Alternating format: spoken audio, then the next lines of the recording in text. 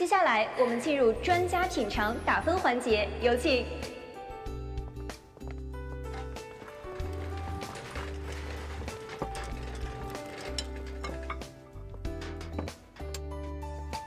阮东升，真是冤家路窄，哼，这可怨不了我了。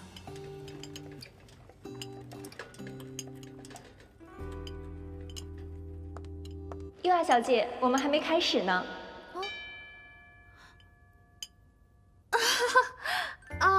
我是看这道菜，长得太可爱了，已经迫不及待想要尝试一下了。我觉得一定会很好吃。真的很好吃，吃一口就像是进入天堂一样。今天晚上的冠军一定非马克先生莫属。完了完了，总裁要发飙了。这，伊娃小姐，这一次参赛的菜肴是我们亲集团主打的菜肴。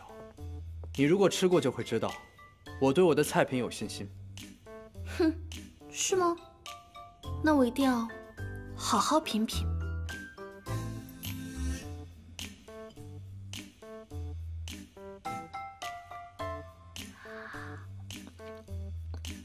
感觉如何？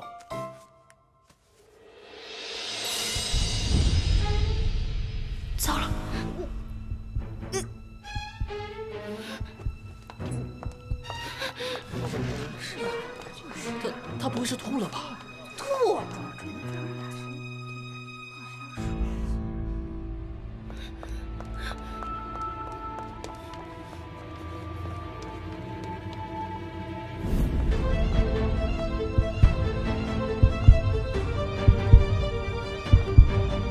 我的人生怎么会变成现在这个样子？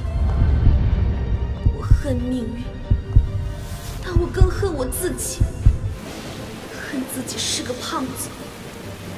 看你胖的，谁会喜欢你啊？谁给你的自信啊？从那天起，我开始了地狱般的生活。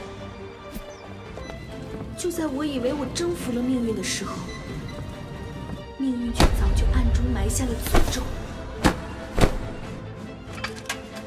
经过非人的魔鬼训练，我虽然瘦身成功，改名伊娃，成为超模，但却得了一种怪病。我每天的卡路里摄入量不能超过一千卡，不然就会在很短的时间内变成胖子。